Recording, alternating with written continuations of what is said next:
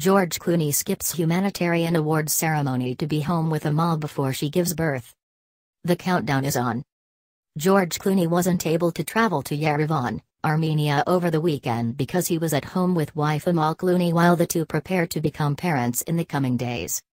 The actor turned activist gave a video address at the award ceremony of the Aurora prize for awakening humanity last night when he joked about his current self imposed travel ban of sorts. I really would have been, in Yerevan, but if I came there and my wife had twins while I was there, I could never come home.